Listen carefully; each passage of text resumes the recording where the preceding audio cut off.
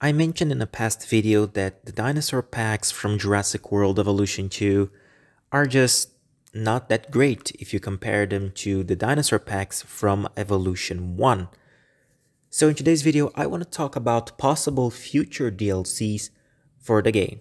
It appears that Frontier wants to make DLCs about early and late periods of the Mesozoic era had the early and late Cretaceous dinosaur packs. So if we follow that logic, the future DLCs would be early and late Jurassic and early and late Triassic. There's a problem here. While I was doing this video, I realized that some dinosaurs from the early and late Triassic and from the early Jurassic are just not interesting. The late Jurassic, however, is a little more interesting. We have several famous and popular dinosaurs from the late Jurassic. For example, the famous Brontosaurus or the Torvosaurus. If Frontier ever made a late Jurassic DLC, they could possibly add the Torvosaurus or the Brontosaurus.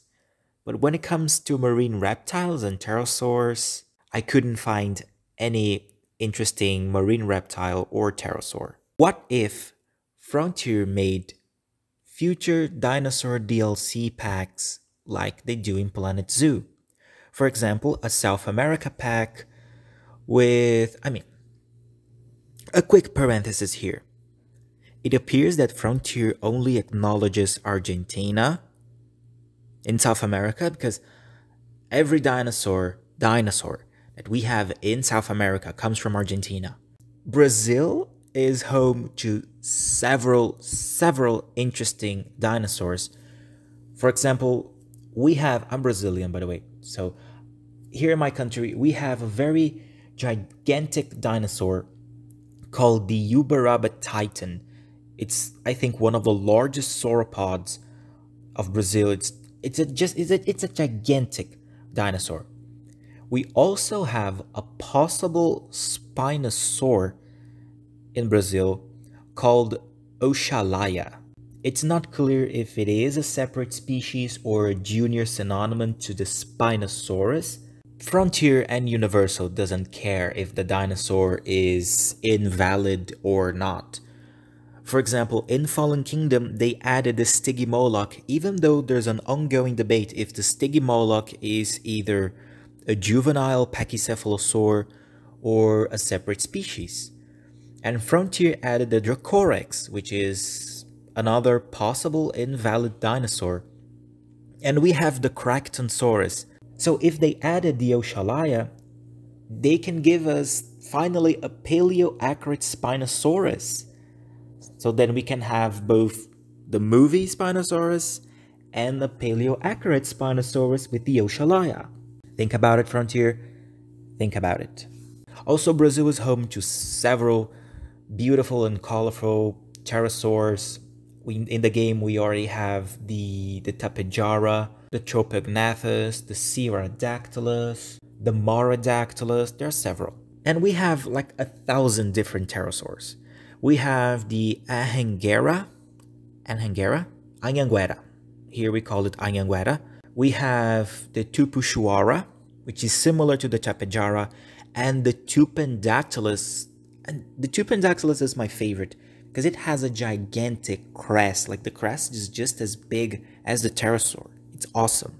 Also, I discovered recently that there's a, I think the largest plesiosaur ever discovered was here in South America. I think it was in Argentina, if I'm not mistaken. It's called the Aristonectes. I think that's how you pronounce it. Anyway, this is a possible South America dinosaur DLC. Think about it, Frontier. Think about it.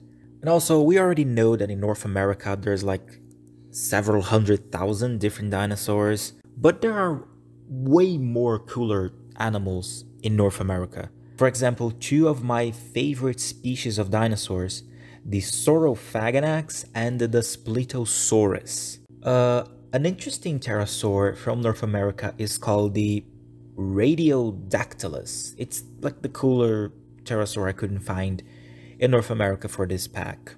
And for the marine reptile, There's the Plotosaurus, which is a gigantic mosasaur discovered in California. Africa, much like South America, is a paradise of gigantic and majestic dinosaurs. I couldn't pick uh, possible dinosaurs for an Africa Pack DLC, so here are four possible dinosaurs they could include in a pack. The Afrovenator, or the Eocarcharia, and the Jobaria, or the Paralititan. They're the coolest dinosaurs. For the pterosaur, I found the Siroccopteryx, a pterosaur that was discovered in Morocco, and for the marine reptile, the Brachauchenius, also discovered in Morocco.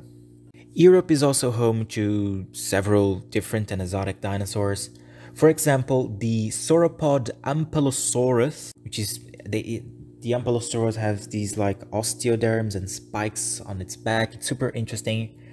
Uh, the Neovenator, an interesting carnivore. The Hatzegopteryx, one of the largest pterosaurs ever discovered, was found in Europe. And the Prognathodon, also one of the largest mosasaurs ever discovered. The Asian dinosaurs and marine reptiles and pterosaurs are kind of. I mean, I don't know. They're kind of weird. For the Asia pack, we have the Yamatosaurus, a dinosaur from Japan, the Guanlong, we I love the Guanlong. For the Asian pterosaur, we have the, sorry if I mispronounce it, Zhejiangopterus.